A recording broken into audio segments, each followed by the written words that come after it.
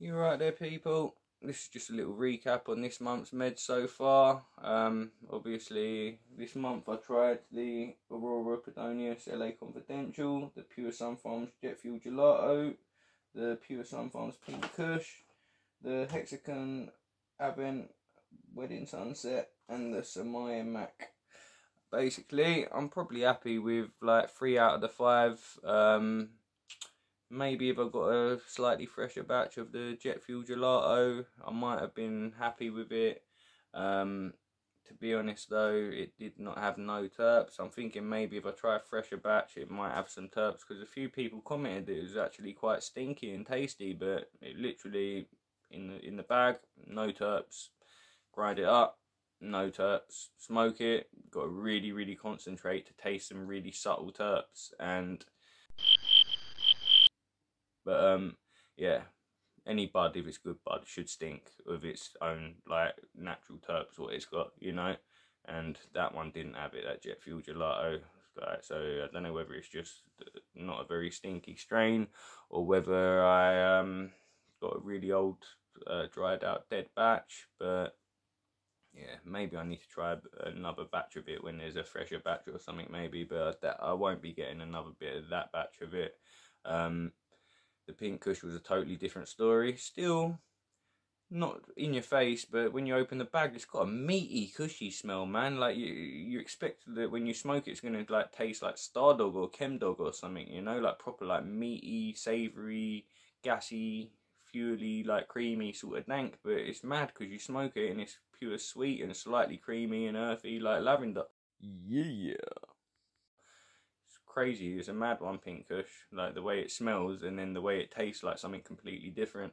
You don't often find that. Usually, good green smells how it tastes and it tastes how it smells, you know? So that's that's a mad one, but I do really like that one because it's got quite a heavy effect. Same as the LA Confidential, it's got quite a heavy effect, but where it's still got a little bit of the sweetness to it, it's not as effective to knock me out as the LA Confidential.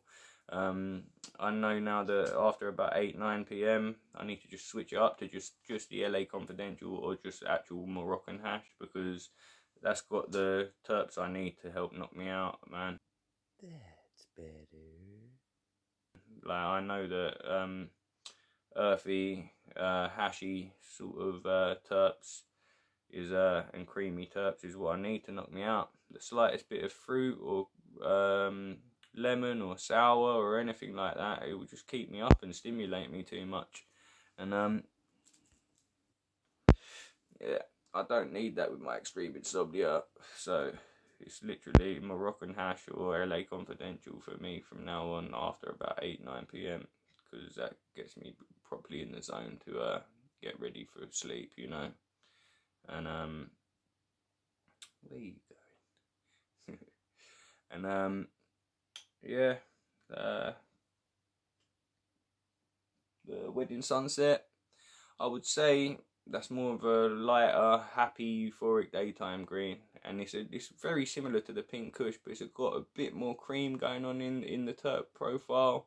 Um, I think the uh, it really reminds me of like a strawberry milkshake or raspberry milkshake or something when um I'm uh putting my nose like over the pot straight away. As soon as you open the pot, it's like bam, like strawberry milkshake or something, you know, like really creamy and like fruity and that, you know.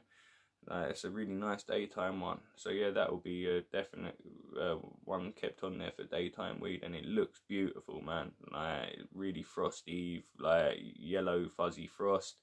Um, like almost black like purples on it man like it does look really pretty uh, like I say, that will be a nice daytime one for me. I'll, I'll get through it a bit quick though, because obviously it's a bit more lighter and euphoric and happy and really tasty. So I just kept chonging loads of it. But um, yeah, like I, am happy to say I'm not getting through the LA Confidential as quick, or the pink, or the pink Kush. I am near enough getting through as quick actually, because again it's a bit more tasty and a bit lighter. But yeah, the LA seems to be lasting me a little bit longer. Um, more satisfying, more stronger indica sort of like effect to it, ain't it? Um, but uh, yeah, um, the Samoy Mac, lacking in terps, like I say, and uh, it um it ain't got the full gravy, uh, creamy, gassy, fuely in your face stink like what Mac Cookies has got. Mac Cookies should be just like a proper like banging cookies from the street where it's just you open the bag and it's like poof, fuck it, it stinks the place out of like fuely, gassy, creamy, dank terps. You know what I mean? Like um. And yeah, that that ain't got all them other things going on in there. It's just got the earth, the musk, and the sour. Ew, what's that, brother? And again it was too sour for me in the end. I thought it weren't gonna be, but yeah, after consuming it for more than a couple of days or more than a few days, it was too sour for me, man. Like I'm really like fussy with sour and lemony greens. Like it's really like I've got a limit that I can handle, uh, and then yeah, if it's past that, it's too sour for me. Stimulates me too much. Just tastes like after puke or like acid reflux sort of flavour in my mouth. Sour green does and lemony green. It's not enjoyable at all. Um, and plus it stimulates me too much and don't let me sleep. So uh, yeah, um, doubt I'll be getting that one again because it's not like the proper mac I know.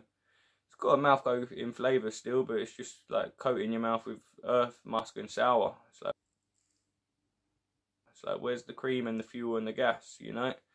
So yeah, sorry to say that that one won't be kept again, but yeah, I will be probably ordering the LA Confidential again, definitely the Wedding Sunset and the Pink Kush, and then I'll just try another like three or four other new strains each month as well. Just just so I've got a three safe ones to play it safe with, and then I can try a few new ones. And if I don't like them, it's not the end of the world then, because I've got something else that I know is gonna like agree with me already.